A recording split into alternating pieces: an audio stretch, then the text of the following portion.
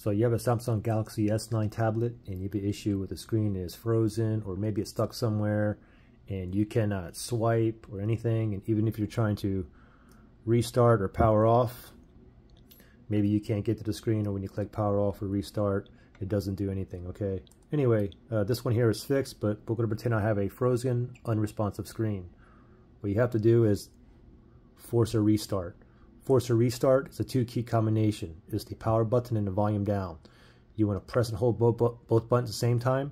Don't let go until, until you see the Samsung logo appear. Let's do it together. Ready?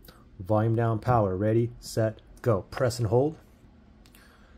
Keep on holding. Power button, volume down until we see the Samsung logo appear. This typically takes about 40 seconds, at least on this tablet here. So just be patient. So the tablet is currently off. I'm still holding both buttons and it's about to boot back up now. Waiting for that Samsung logo. Here it comes. There it is. Let go and let it boot up normally and there you go. If it becomes frozen or unresponsive again, just do the same thing again. Good luck.